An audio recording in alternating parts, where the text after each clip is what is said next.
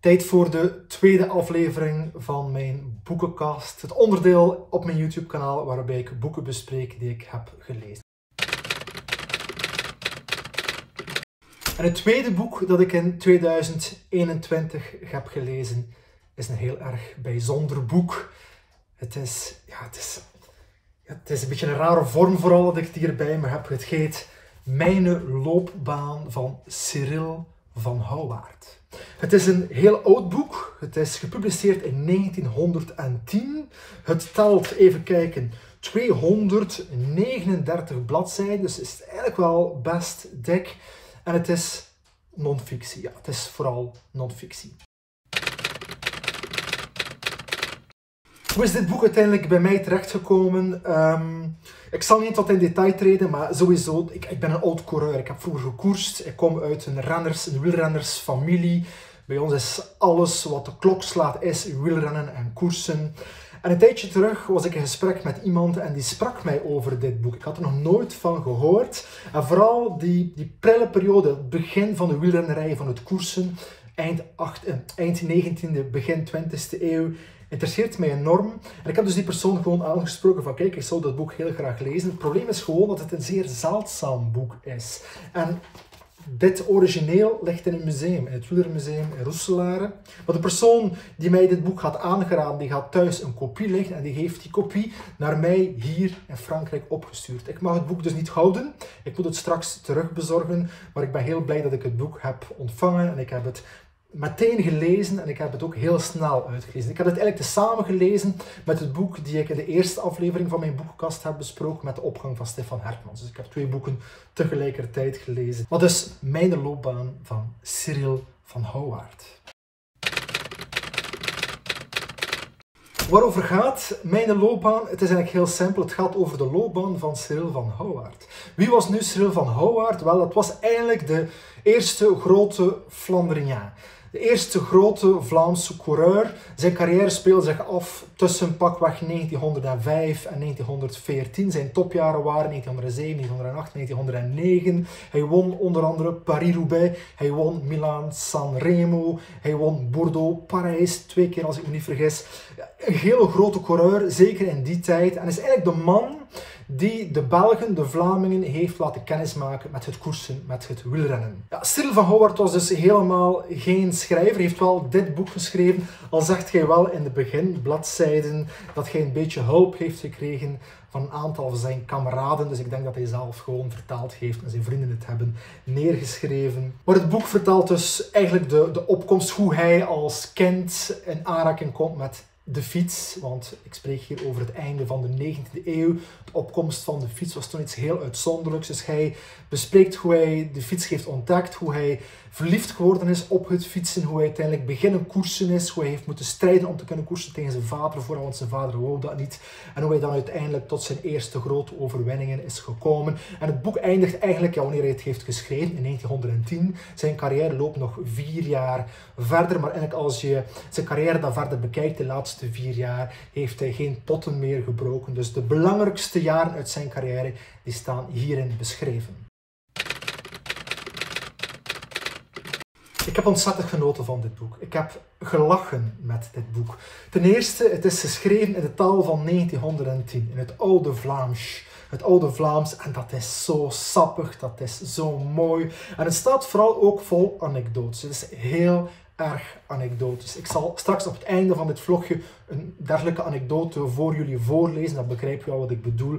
Maar ik heb soms echt zitten, luidop zitten lachen terwijl ik dit boekje aan het lezen was. Het geeft ook een goed inzicht in de beginjaren van de wielrennerij in het algemeen. Hij was een van de eerste beroepszenders en dit toont heel mooi hoe ver koersen toen stond van het huidige wielrennen. Dat is niet vergelijkbaar, dag en nacht verschil.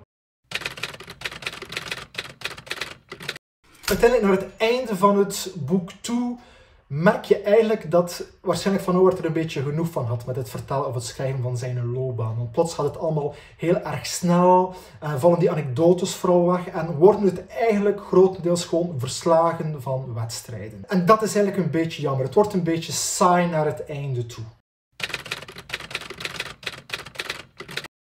Ik heb persoonlijk ontzettend genoten van dit boek. Ik heb er ook dingen uit geleerd, maar vooral van genoten. Van het sappige, van het grappige, het anekdotische. Dus daarom moet je het zeker gaan lezen. Nu, als je niet echt into koersen bent, into wielrennen bent, dan kan ik me inbeelden dat vooral de tweede helft minder interessant is. Dus hou je van koersen, lees het zeker. Al moet je weten dat je op het einde je zult moeten doorworstelen, want het einde is net iets minder interessant. Het laatste kwart van het boek, maar de eerste drie, drie kwarten die zijn fantastisch leuk. Dus het hangt er een beetje vanaf. Hou je van koersen, moet zeker lezen. Hou je niet van koersen. Misschien voor de sappige taal in het begin, de anekdotes, maar voor de rest dan misschien weer al niet. Zou me eigenlijk verwonderen moest iemand van jullie dit al hebben gelezen. Als dat toch het geval is, laat mij dan weten wat je ervan vond. Ik ben heel erg benieuwd. Heb je zelf nog leestips? Misschien rond wielrennen, rond koers? Zet die dan hieronder. Dan ga ik die boeken misschien lezen en in een volgende aflevering van de boekenkast gaan bespreken. Het volgende boek die ik ga bespreken, ik heb hem ondertussen al gelezen. Ik heb de eerste dagen van dit jaar heel veel boeken uitgelezen. Het volgende boek is een klassieker. Het is niet zo oud als dit boek, al is het toch wel al best oud. Het is De Vreemdeling van Albert Camus. Misschien heb je dat boek wel al gelezen. Het is echt een klassieker, maar dat bespreek ik dan in een volgende boekbespreking van de boekenkast. Maar wat ik dus telkens wil doen op het einde van de boekbespreking is een favoriet fragment gaan voorlezen aan jullie. Het was hier heel erg moeilijk kiezen. Ik heb van heel veel stukken genoten, vooral van die sappige zoals ik al eerder zei. Maar ik heb er eentje uitgekozen die eigenlijk niks of weinig met de koers te maken heeft. De anekdote die ik zal voorlezen speelt zich af in 1907. Eh, van Howard heeft al zijn eerste grote koersen gewonnen, wordt al een grote vedette, wordt al beroemd. En hij gaat er met een paar kameraden, collega wielrenners, op uit op training. op training dat betekent niet dat ze gewoon een toertje gaan doen, nee, ze gaan een soort van Tour de France gaan doen. Niet in competitie, maar ze fietsen door Noord-Frankrijk naar Zwitserland en uiteindelijk naar Nice en zo dan terug naar België. Maar op een moment komen ze in Genève aan en in Genève logeren ze in een hotel. En daar vinden ze een, een geweer, een karabijn in dat hotel. En ze beslissen om een aantal schietoefeningen te doen in de tuin van het hotel. Het probleem is dat op het einde van die tuin, in de weide, staat een geit. En die geit die speelt de hoofdrol in dat stuk die ik zal voorlezen. Het is zo dat een van de coureurs, collega's van Van Howard, Lignon, dat is blijkbaar, dat merkt men al vlug als men die schietoefening aan het doen is, dat is een slechte schutter. Dus men probeert te mikken achter blikjes enzovoort. Hij slaagt er niet in. En op een bepaald moment zegt hij bij wijze van grap, weet je wat, ik zal proberen achter die geit te schieten. Iedereen gaat ervan uit dat hij gewoon zal missen, want Lignon is echt geen scherpschutter. Maar dan gebeurt het volgende. Ik lees jullie voor in het oud-Vlaams. Het schot vuurde af. Een vervaarlijk geblaad ging op, een doffe val. Wij zagen de arme geit nederstuiken en te plat vallen. Ik liep toe met Cadol. Het was te laat. De weerwraak van Lyon was volbracht. De arme geit was stokkendood. Het was voorzeker een ongeluk, want Lignon schoot zo slecht dat de geit negen kansen had op tien om niet getroffen te worden. Dit was het eerste bedrijf.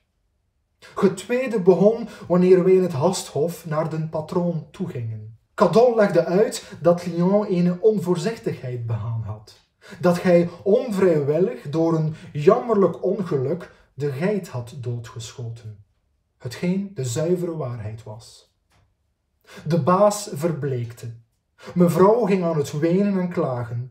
De twee meiden vielen aan het kermen. De garçon zelf, die een goede vriend van Bette moest zijn, slaakte luide kreten. Iedereen vloog naar het park toe om op het graspark het prachtige beest te vinden, badend in zijn bloed. Het had de volle lading in den kop gekregen en moest op den slag dood gebleven zijn. Radeloos stonden wij rond getrampt zalige slachtoffer geschaard. Wij troosten zoveel mogelijk die bedroefde lieden. Lignon, die een melde kerel is, vroeg losweg zijn schuld. De baas zweeg en rouw gedompeld. En de patrones, na ene stonde nagedacht te hebben, antwoordde met de krop der aandoening en der droefheid in den keel en door haar tranen heen dat het beest 80 frank weerd was. Lignon die oordeelde dat het ogenblik niet was om af te dingen, betaalde zijn revanche in een breed gebaar. En om het toppunt der kiesheid te bereiken, verklaarde hij dat hij het beest aan mevrouw in geschenk gaf. Mevrouw scheen dubbel getroost.